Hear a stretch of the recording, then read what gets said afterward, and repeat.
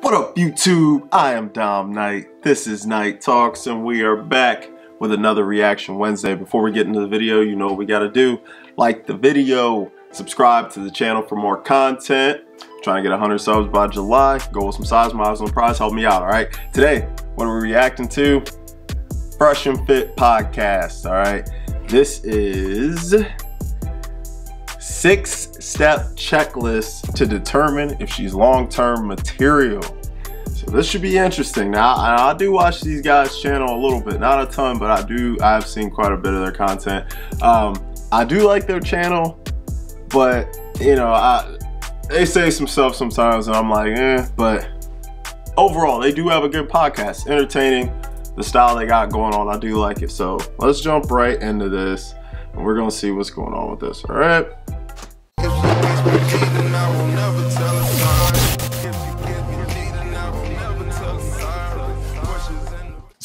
Guys, if, if any of you guys are out here in a relationship, I'm going to have to ask you guys a couple of things.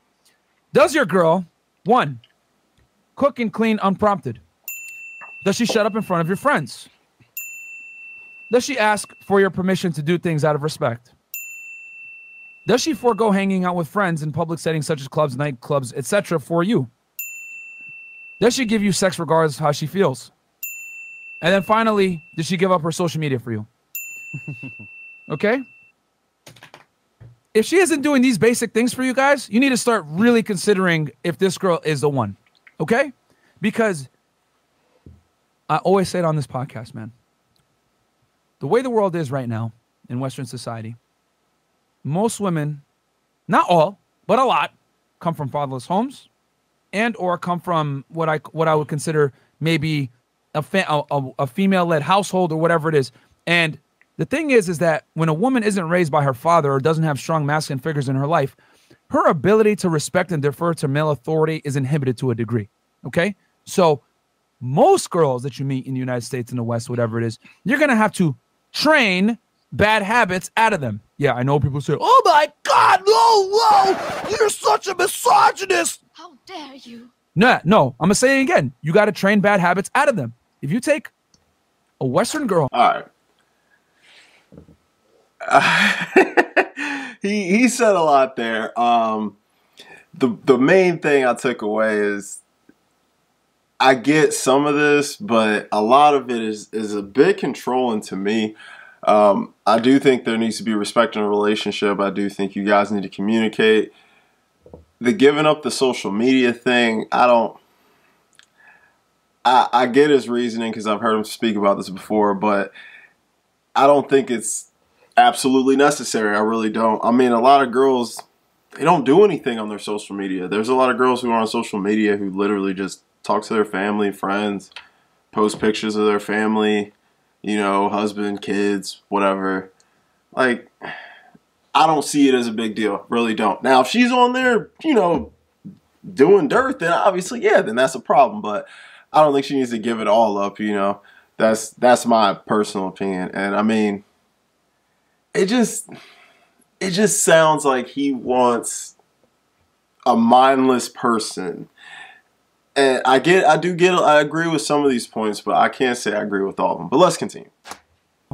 Modern woman, and you tell her, hey, I want you to cook and clean for me. I want you to, you know, be submissive, follow my lead, uh, be a dutiful girlfriend, whatever it is. She's gonna look at you like, are you crazy? Like, I ain't doing all that. Fuck out of here. Mm-hmm. But she's gonna expect you to be taller than her, make more money than her, be decisive, be masculine, be a leader, protect her in times of danger. In other words, it's a bad deal for most guys because you're held to a traditional standard while she is not held to a traditional standard. Her rules are negotiable, yours are static. So it's a bad deal for you as a guy. Um, All right, I'm, I'm, I'm gonna pause that right there too. Okay, now that what he just said, a lot of that is true. That is true. Um, women do have extremely high expectations for men in a lot of situations although they may not be bringing that much to the table themselves, you know. Um, I do think if you want a guy who has all these things, you need to be coming with something because you want a guy who is just highly above average. So let's continue. Less, you have the frame where you come into the relationship and you tell her, this is how it goes. You don't have to be with me, but if you do want to be with me and you want a relationship, this is how it goes. Otherwise, you are only going to get penis and nothing else. Done. You know what I'm saying? And I need you guys to make these women qualify to you for the relationship. The problem is when you give a girl a relationship and she hasn't worked for it, she does stupid shit like this cheating on you, embarrassing you, whatever it may be. And the other thing, too, is that you need to be a dominant leader. And being a dominant leader is saving her from her own bullshit. Whether you guys want to accept it or not, women get turned on when you check them, bro. I don't know what it is, son. Some kind of crazy psychology That's in their facts. mind. Facts. When you That's tell them, facts. yo, don't fucking do that, or yo, don't do like I don't want you doing this. If you want to do it, that's cool, but I'm leaving. That's gonna make her think twice because the problem is that most guys don't hold women accountable. I'm gonna say that again. Most men don't hold women accountable. And if you guys don't believe me, That's also watch this fucking podcast and look at all these women, how they operate when I talk to them. I'm not even out here trying to court them or date them or nothing, and they're acting crazy. Could you imagine if they had the advantage of me trying to approach them sexually? They would treat me even worse. They're on a podcast in 1080p live stream with 10,000 live viewers acting a fool. Why? Because many modern day women aren't held accountable for their actions, bro. Yep. You know what I'm saying? When I kicked that guy out yesterday, even though he was mad and he didn't like it, men understand that there's an invisible barrier of a possibility of violence at all times. He gets up, he leaves, right? Girls, you gonna have to call the fucking cops. I go nowhere. Attacking me and Chris, whatever, because she knows that we ain't gonna punch her. You know what I'm saying? If we did, we'd probably kill her. So, knowing that many That modern day women operate like this, you guys need to arm yourselves with bazookas because you guys, like I said before, have butter knives in a fucking bazooka fight. You guys are not equipped to deal with a lot of these modern day women, which means, say it on podcast too, people are going to get offended. You got to keep your fucking foot on their neck. Okay? And I don't mean that literally for you dumb niggas out there. Okay, I'll put it on there." No, don't really put your foot on her neck. But what I'm saying is you need to assert dominance all the time and not be scared to assert said dominance when she does something stupid. I want to. Uh, I want to go on Instagram. Well, you can, no problem. But we ain't gonna be. I'm not gonna take you serious no more. You know what I'm saying? And the thing is, too, guys. Once you reach a certain level, you have money, you have status, whatever it is. You have the leverage. It's your way or the highway. She can't replace you. We live in a world though now where men are incentivized to be have a, a scarcity mindset while women have an abundance mindset. The reason why girls want to keep Instagram, go to the club, and do all this extra fuck shit is because women always want to be able to reserve the right to have backup options. Okay? They always want to do that. So if you try to take that away from them, they fight tooth and nail. But you want to know what? When you take it away from her, you protect her from herself, you assert dominance, you let her know that you're not one to be played with, and most importantly, she's going to respect you guys. The foundation of female attraction lies in respect, and that respect needs to come from a fear of loss. Say that again. A fear of loss creates respect. Let me pause that right there. In the context, what he's saying, I get exactly what he's saying. I get exactly what he's saying. He does make a lot of sense in the context of what he's describing.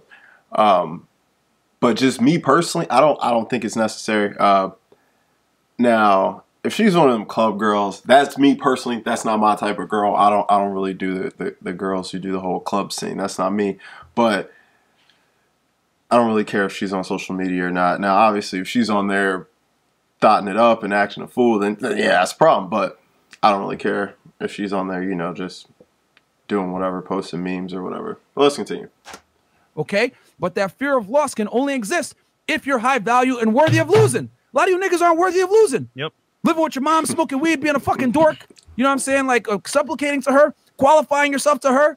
You know what I'm saying? A lot of you guys are out here like literally like chasing ass and not working on yourself. When you work on yourself and you make yourself, as Rollo says, your own mental point of origin, these women come correct. You want to know why? Because when you're attractive and you work on yourself, guess what? Other girls are going to notice that. And when other girls like you, then your girl's going to like you more. And she's to do everything in her power That's to keep true. you. She ain't going to be worrying about posting pictures of her ass on the internet or doing this extra shit. She's going to start to do things unprompted for you because she understands that your value is higher than hers. And whether people want to say it or not, women only want men that are better than them. They want a man better than them. This whole feminist agenda of I want an equal partner, uh, 50-50 partnership, shut the fuck up. It's true. It's cap. You want a man that's superior to you. So I need you niggas to start acting like you're superior to these women. I'm not saying you're better than her, as in like for uh for you know human rights or anything like that. But what I am saying is within the confinements of this relationship, you're the leader. It's a dictatorship now. My way or the highway. Back to the streets or in the sheets with me. Period. There is no way around it. You want this security, you want this provisioning, you want this leadership? Cool. You will get it. But it comes at a cost. A lot of you guys are giving these chicks a free fucking home rent free, bruh. And they're not doing shit to pay for it. they need to pay with it with their femininity, their submission, and being a good, dutiful girlfriend.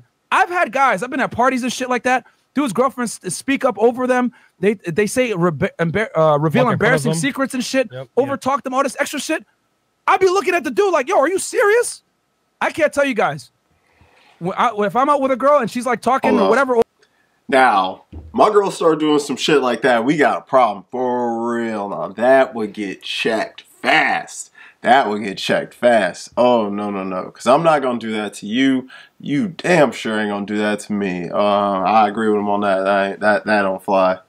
over talking too much, I tell her, yo, shut up, stop talking, just like that. I don't Yeah. care. Yeah, you think of the Fre- joke? Fre- it's the- fresh, uh, fresh heard it the I other see it day. happen. I'd be like, God damn!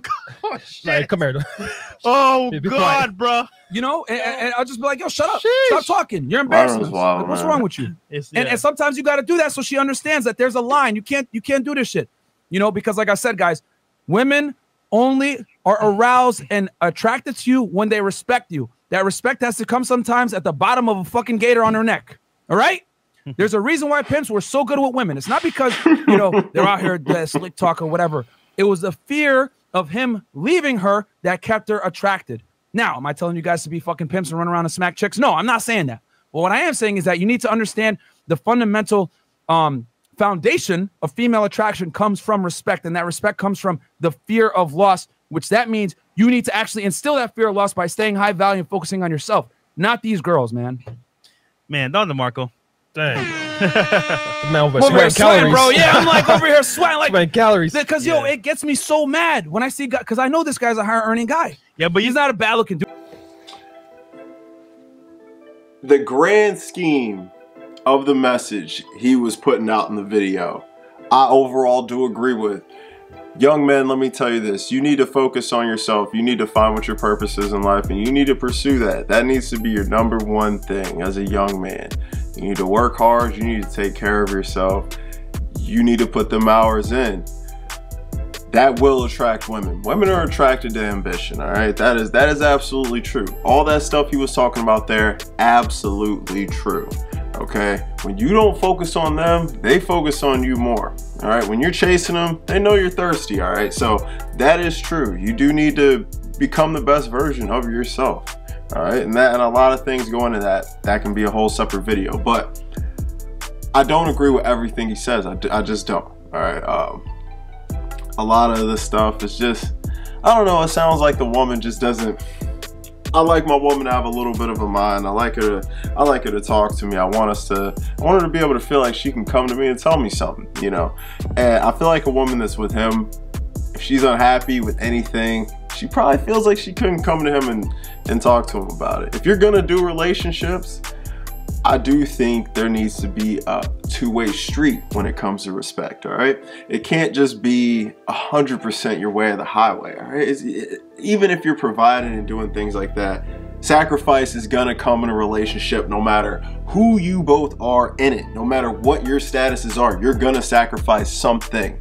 All right, so my thing is with this is if you want a woman to just pretty much be a doormat, I mean that's cool. But for me, that that's just not how I want to roll. Like, if you remember the movie Coming to America with Eddie Murphy, the reason he went to America to find his wife was because he didn't want a doormat woman.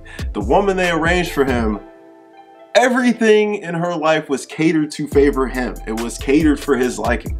He didn't want that. He wanted someone with their own mind, their own ideas.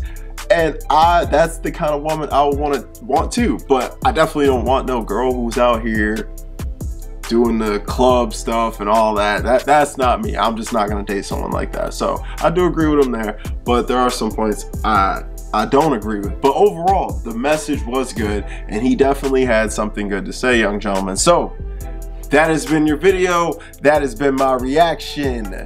Make sure you like and subscribe to the channel for more content. All right, I'll throw the socials up here. All right, I'll be back on Friday with some advice. Peace.